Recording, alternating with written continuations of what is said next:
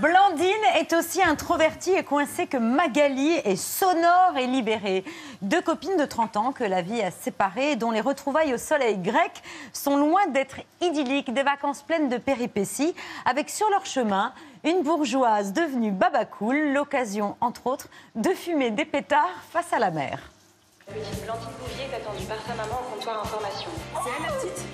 Bah oui compliqué les séparations. Et après ce voyage, tu te rappelleras même plus de son nom. On est en Grèce Davis Rousseau J'en fais trop, c'est ça J'ai plein de potes qui me disent que je suis bruyante. J'ai même une pote qui m'appelle la tu vois. Mais là, t'as payé pourquoi Pour le premier arrêt du bateau. Et puis nous, on descend plus tard. Ah, d'accord, donc c'est une arnaque. Petite. Qu'est-ce qu'il a dit?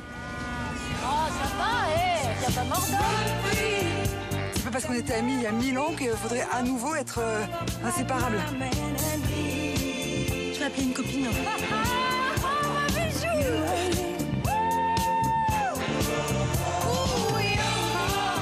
Tu vas accepter ce divorce et tu vas te booster, ok? On est des Amazones. Là, c'est le début d'une nouvelle ère.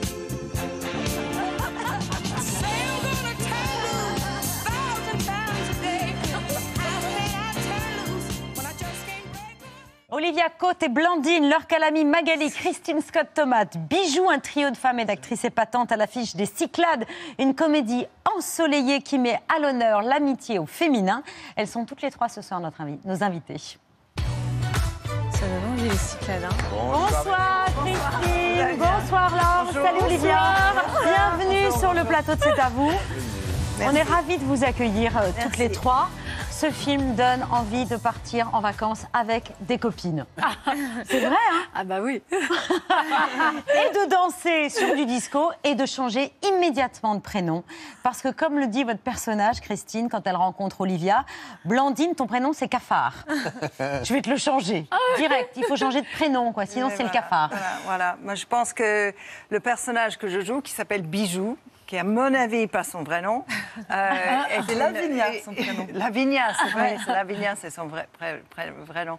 Je pense que c'est quelqu'un qui invente tout le temps, qui a inventé toutes sortes de vies. Je ne crois pas un instant à l'histoire qu'elle raconte à ses filles. J'étais duchesse, j'étais pas. Je crois que c'est n'importe quoi. J'ai grandi dans un château. Oui, ça- faux, à mon avis. Mais c'est des femmes qui se réinventent tout le Oui, temps. exactement. Qui ont Et- choisi de continuer Exactement. à avancer, à se réinventer. Donc Christine, avec vous, Christine Blandine devient euh, divine. Euh, Lavinia Bijou et Magali Akoufen. Euh, c'est vous, Laure, qui avez soufflé ce, ce sobriquet au réalisateur Parce que c'est comme ça qu'une de vos copines vous appelle. Alors une, oui, enfin oui, une copine. Enfin c'est devenu une copine. Euh, C'était, je sais pas comment elle avait. C'est-à-dire que c'était sur un tournage. En fait, euh, elle s'occupe des accessoires. Euh, donc elle me disait, voilà, elle m'avait surnommée Akoufen. Par contre, voilà, les gens du son ne veulent plus de moi sur les tournages. Ils sont sourds après mon passage. Ils n'en peuvent plus. C'est aussi vous, Laure Pardon, voilà, petite démo.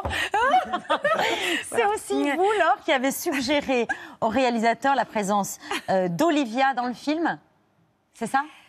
Ben, oui, en tout cas, je lui ai dit, mais rencontre-la, je t'en supplie. Euh, voilà, euh, tu vas voir, tu vas voir ce que tu vas voir.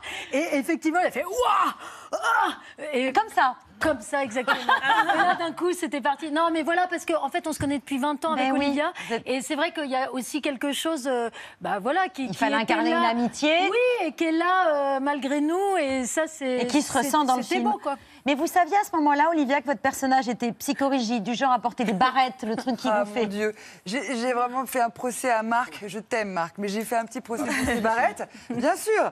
Mais Elle porte des barrettes, elle porte une doudoune sans manche pour partir en Bah. Elle, elle fait un, un album de souvenirs, elle récupère Avec même le le sac à sac à vomi de l'avion. Elle a un petit problème, cette femme. elle a peur Bah de oui. tout. Non, non, elle a peur de tout. Et c'est marrant parce que quand tu dis waouh, c'est une, performance somme toute assez fantomatique. Mais non, c'est une performance. Mais si, c'est Non, quand c'est on pas- connaît, c'est une Magali dans la vie. Oui, et d'un c'est- coup, du coup, c'est bah voilà, c'est tout rentrer, tout contenir. Oui, tout, tout. Exactement.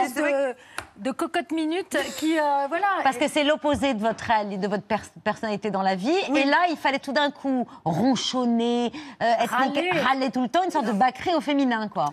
Oui, c'est ça, il y a un Bakri au féminin avec peut-être un peu plus de, de douceur, de tendresse que. Enfin, je dis pas que Bakri n'amenait pas de tendresse et de douceur dans ses personnages, mais c'est pas forcément ce que ce qu'on pouvait dire de Bakri. Oh, cet homme si doux et si tendre. Non, dans les personnages qu'il proposait, plutôt oui, la râlerie. euh, tout de suite, mais cette femme, elle est quand même euh, très tendre, très douce.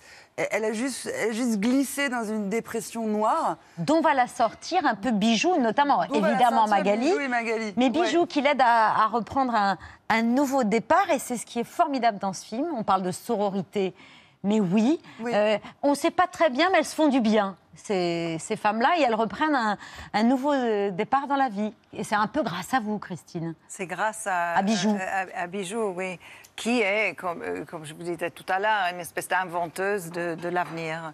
Et, mais elle a quand même son, son petit côté un peu plus sombre euh, qu'elle garde pour elle et qui ne révèle pas et elle ne veut pas partager. Et puis elle craque et elle partage. Et c'est- c'est assez joli ce moment. Exactement, c'est solaire, c'est positif, c'est pas cucu du tout.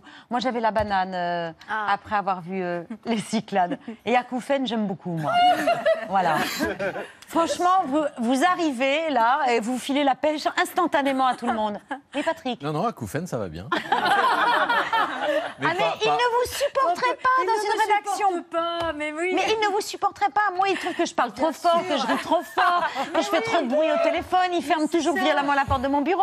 Mais oui, Il a un trop coup- de fougue, trop de. Mais voilà. oui Et beaucoup d'insouciance. Et c'est ce qu'on retiendra dans, dans- dans ce film. Elles font le choix de l'insouciance. Oui, oui, ça va. Ça va, Patrick. On va voir sa peau.